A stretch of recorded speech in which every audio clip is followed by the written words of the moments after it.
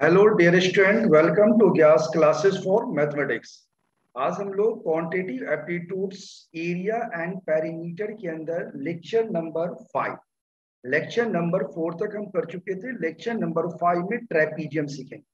जो बच्चे नए हैं, वो बच्चे quantitative aptitudes lecture one lecture two lecture three lecture four आप चेक कर सकते हैं। इसमें हमने स्टार्ट किया है area and perimeter from zero यानी from the basic point okay चलो तो स्टार्ट करते हैं ट्रेपीजियम ट्रेपीजियम में आप देखोगे कि सबसे पहले जानना है व्हाट इज़ ट्रेपीजियम कह it is a quadrilateral with any one pair of opposite side is opposite sides parallel यानी कह रहा है कि कोई भी क्वाड्रिलेटरल होगा, आप जान चुके हैं पहले what is quadrilateral any four sided figure is called quadrilateral this type of quadrilateral it is a quadrilateral with any one pair of opposite sides है ऐसा quadrilateral जिसके one pair of opposite side है वो क्या है parallel है जैसे आपने देखा यहाँ A A B C D ये ट्रेपीजियम है जिसमें C D parallel to A यहाँ क्या है सी डी ए बी के पैरेलल आप देखोगे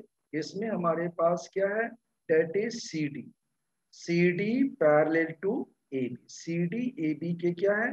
पैरेलल है राइट तो सी डी ए बी के पैरेलल है और आपको दिया गया है that is C D equal to a A B equal to b A D equal to c and B C equal to d तो एरिया ऑफ़ ट्रेपीजियम होता है half sum of the parallel sides half into sum of the parallel side into में height तो half of sum of the parallel side यहाँ भी आप bracket लगा दो और इन टू में height that is half into में ए प्लस बी इन टू में h where a and b are sides of a and b are sides of trapezium which are parallel a b c a और B क्या है? Parallel sides हैं trapezium के. Okay अब हम बात करते हैं आगे, ध्यान दो। आगे आप देखोगे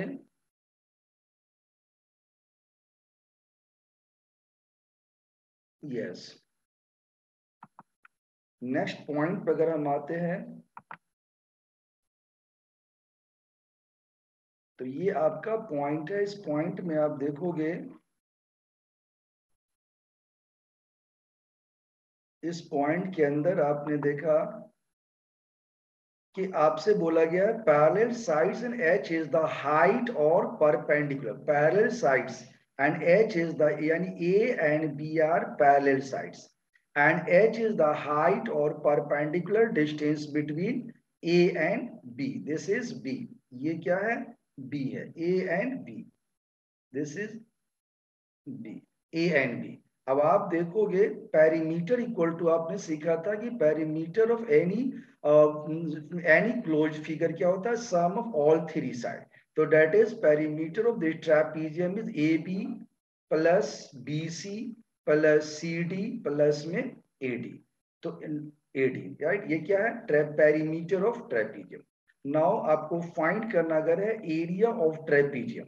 Area of trapezium when length of parallel and non parallel side अब हमें बता रहा है कि सबसे पहले आपने सीखा कि कोई ट्रेपीजियम दिया गया है अगर उसके दो साइड पैरेलल्स हैं और वो दोनों साइड गिवन है और उसका हाइट गिवन है तो आप एरिया निकाल सकते हो हाफ़ इंटू में sum of parallel side into में हाइट राइट? और अगर आपसे पूछा जाए पेरीमीटर तो sum of all four side जैसे आपने यहाँ पे देखा that is A B plus B C plus C D plus A D ये इसका पेरीमीटर हो गया. अब आपको बताया जा रहा है कि area of trapezium when the length of parallel and non parallel sides are given कह रहा है कि व्हेन लेंथ ऑफ़ पैरेलल और नॉन पैरेलल साइड भी आपको गिवन हो. तो आप उस केस में एरिया कैसे निकालोगे? तो डेट मीन्स आपका कह रहा है कि डेट एरिया आपका क्या बनेगा? A plus b a plus b upon में और ये ए प्लस बी अपॉन में आ गया कि एस इंटू में s minus k s minus s minus k s minus c और एस माइनस डी वेयर के क्या है? ए माइनस बी के की वैल्यू क्या है? ए माइनस बी ए और बी क्या है? अपोजिट साइड्स ऑफ़ यानी पैरेलल साइड्स ऑफ़ ट्रेपीजियम तो पैरेलल साइड ऑफ़ ट्रेपीजियम है उससे आप के निकाल लोगे और एस क्या होगा? एस हो जाएगा आपका S equal to K plus C plus D by two ये क्या निकलेगा? एस तो आप इससे एरिया निकाल सकते हो। ए प्लस बी अपॉन में K S into S minus K into में S minus C into S minus D का हम लगा देंगे रूट और k की वैल्यू क्या है? That is a minus B K निकल जाएगा आपका।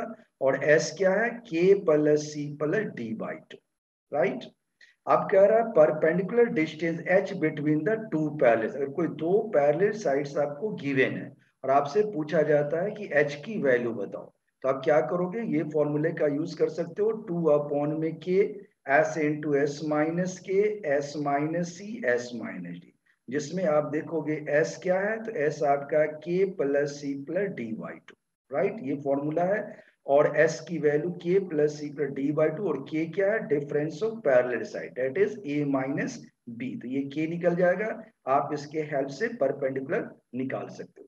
तो ये था ट्रेपीजियम ट्रेपीजियम अगर आपको दिया गया है, इसके दो अपोजिट साइड्स अगर पैरेलल होते हैं तो अगर ये पैरेलल साइड दे रखा है और हाइट दे रखा है। तो आप डायरेक्ट एरिया निकाल सकते हो, हाफ़ इंटू में sum of parallel side into height. और पेरीमीटर निकाल सकते हो, sum of all four side.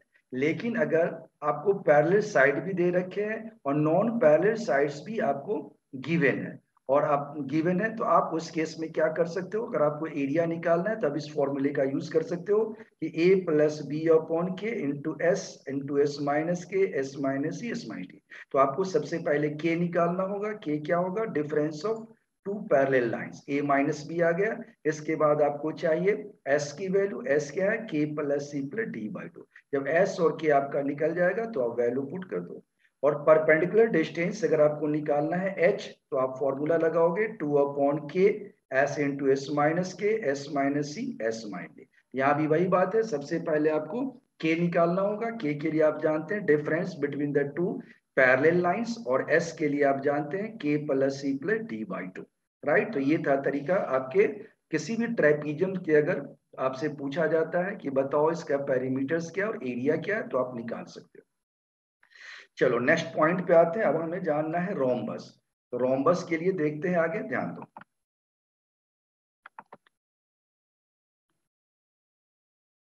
तो रोमबस में आप देखोगे, ये हमारा है रोमबस तो सबसे पहले हम जानते हैं कि ये रोमबस है क्या राइट तो अगर हम रोमबस की बात करें तो रोमबस के अंदर आप देखोगे, इससे पहले भी हमने बताया था कि रोमबस क्या है। कह रहा है कि that is it is a parallelogram with all four sides equal the opposite angles in rhombus are equal but they are not right angles हमें कह रहा है कि ऐसा पैलोग्राम जिसके चारों साइड्स इक्वल हों और opposite angles of rhombus are also equal parallelogram में भी अपोजिट एंगल इक्वल होते हैं रोमबस में भी इक्वल होते हैं. ओनली डिफरेंस इट डेट कि that is all sides of rhombus are equal but all side of parallelograms are not equal okay? And uh, opposite angle rhombus are equal but they are not right angle लेकिन वो right angle नहीं होते। तो आप देखोगे और इसके जो डायगनल्स हैं आपको बताया था पहले भी इसके जो डायगनल्स होते हैं वो डायगनल्स क्या करता है? जैसे आप देखोगे ये आपका रोमबस है ये ए है आपका this is B this is C and this is D और ये इसका इंटरसेक्शन पॉइंट राइट तो अब हम मान लो सपोज़ करो ये ओ है। तो आप जानते हैं कि ये चारों साइड इसके इक्वल है और ये D1 एक डायगनल है D2 एक अदर डायगनल है। और हमने बताया था ये सारे एंगल्स क्या होते हैं? 90 डिग्री होते हैं। ये सारे एंगल्स कितने होते हैं? 90 डिग्री ये 90 है तो ये अपने आप 90 हो जाएगा और इन दोनों का सम 180 होता है तो ये भी 90 तो सारे एंगल क्या हो जाएँगे? 90 डिग्री फिर आपने देखा था कि diagonals of rhombus bisect each other that means O equal to क्या होगा? सी इसी तरह से बी ओ बी क्या होगा? डी के इक्वल होगा राइट तो एरिया ऑफ़ रोम्बस का ये फॉर्मूला है हाफ़ इंटू में डी वन डी टू यानी हाफ़ इंटू में product of diagonal first diagonal into second diagonal और पेरीमीटर ऑफ़ रोम्बस क्या होता है? फोर इंटू में साइड साइड्स अगर आपको निकालना है तो आप साइड्स निकाल सकते हैं। तो साइड के लिए आप देखो, जैसे ये साइड्स है तो आप जानते हो कि जब ये बाई सेट करता है तो ये अगर डी टू है तो क्या होगा? डी टू बाई टू और ये क्या आ जाएगा? डी वन बाई टू तो आप ये फॉर्मूला लगा सकते हो हाफ़ इंटू में डी वन का स्क्वायर प्लस डी टू का स्क्वायर राइट हाफ़ इंटू में डी वन का स्क्वायर प्लस डी टू के स्क्वायर का रूट अंडर तो ये क्या निकल जाएगा आपका? साइड निकल जाएगा this one this side because इसके हाफ़ का स्क्वायर कर दो और इसके हाफ़ का स्क्वायर करके रूट निकाल दो तो ये आपका साइड आ जाएगा। राइट क्योंकि आप जानते हैं कि ओ ए बराबर ओ सी है और ये ओ ए ओ सी किसके बराबर होगा? तो ये डी टू बाई टू होगा। राइट और ये ओ बी ओ डी के इक्वल है, ये क्या हो जाएगा? तो डी वन अपॉन में टू हो जाएगा। तो आप देखोगे कि अगर आप लेते हो in right triangle in right triangle अगर हम बात करें ए ओ बी की in right triangle A O B in right triangle A O B में क्या होगा? आप चेक कर सकते हैं कि आप अगर आप निकालते हैं ए बी तो ए बी बराबर क्या हो जाएगा आपका? That is O A square और प्लस में ओ बी स्क्वायर और इसका क्या आ जाएगा? रूट अंडर राइट अब आप जानते हो ओ ए क्या है? डी टू बाई टू तो ये आ जाएगा आपका डी टू अपॉन में टू का होल स्क्वायर राइट और प्लस में ओ बी क्या है? डी वन बाई टू का क्या आ जाएगा? होल स्क्वायर इस पे क्या लग गया? रूट तो आप देखोगे ये टू है फोर फोर आ जाएगा फोर का आता है वन बाई टू बाहर आ जाएगा. और ब्रैकेट में आपका क्या बचेगा? तो डी टू का स्क्वायर प्लस में डी वन का स्क्वायर और इस पे क्या लग जाएगा? रूट लग जाएगा राइट ये आपका फॉर्मूला निकल गया that is side of rhombus इसी तरह से आप देखोगे कि अगर आप देखोगे जैसे ये साइड है तो ए का स्क्वायर करोगे तो डी टू बाई टू का square D one by D two का स्क्वायर ये आपका रिलेशन आ जाएगा। क्या?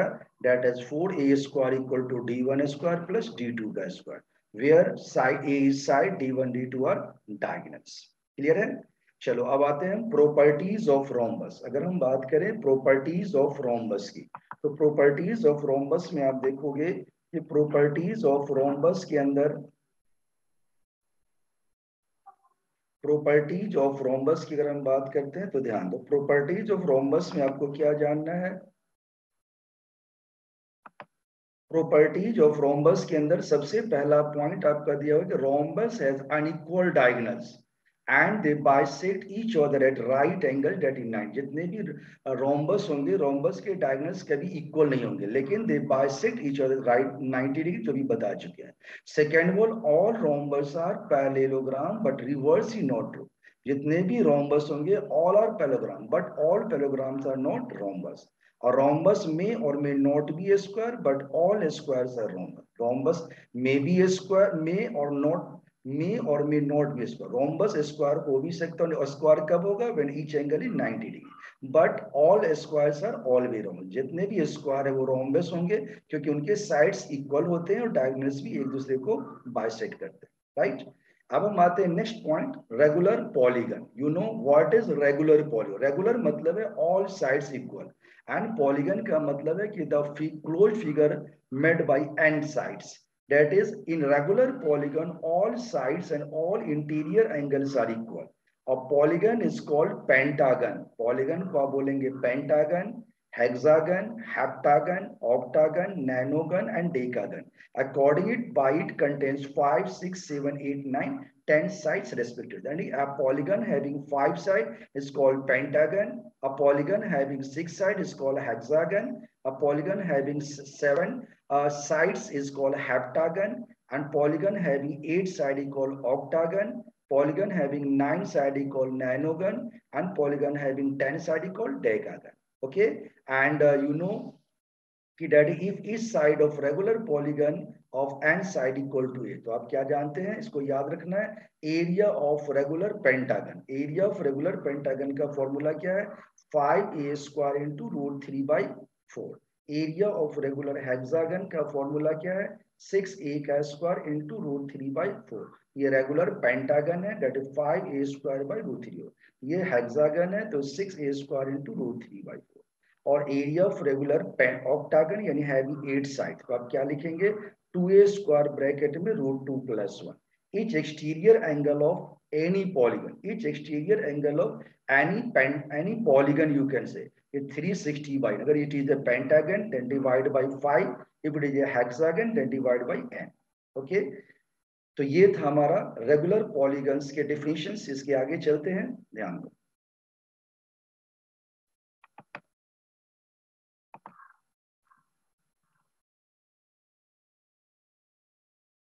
तो आप देखोगे यहाँ